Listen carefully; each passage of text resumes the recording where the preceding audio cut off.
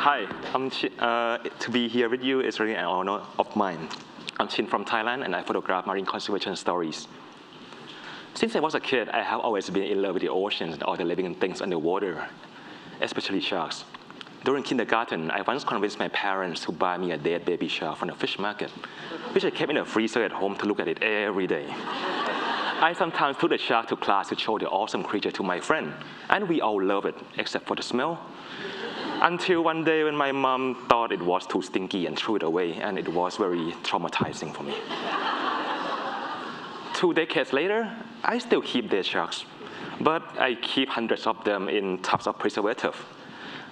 And my mom can't touch them or throw them away this time.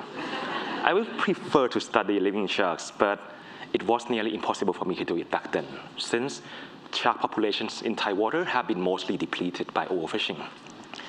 I want people back home to know and care about this issue. But as a young biologist back then, I barely have any audience. Until the local edition of the Geographic gave me an opportunity to shoot it as a story, which got attention from the mainstream media in Thailand and reached out to the public. Since then, I, I realized that hmm, maybe I might be able to do more impact with photography. So I gradually shift my career toward conservation photography, traveling the seas to tell the stories of terrible things that are happening out there, and also the stories that I think are quite hopeful, that I wish that it may inspire love and encourage action from us. Through the grant from the National Geographic Society, I am now documenting marine conservation issues in the Myeik archipelago, which is a group of over 800 islands off the coast of southern Myanmar. The archipelago had long been closed off from the world for many decades, even to scientists, so there are many unknown and a lot to explore, such as these newly discovered sharks and rays that I found in fish market. Also, this water is a key diversity area of the Andaman Sea, being on a tentative list of the UNESCO World Heritage Site. But as Myanmar opens up to the world, the Myeik Archipelago, as one of the most pristine places in the Andaman Sea, is also experiencing rapid exploitation of its marine resource at an, at an unsustainable rate to feed the developing economy.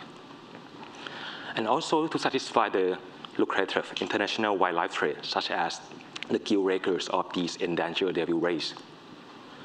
The growing interest in these newly open territory is also leading to development with a plan for a gigantic mega project aimed to be the largest industrial zone in Southeast Asia.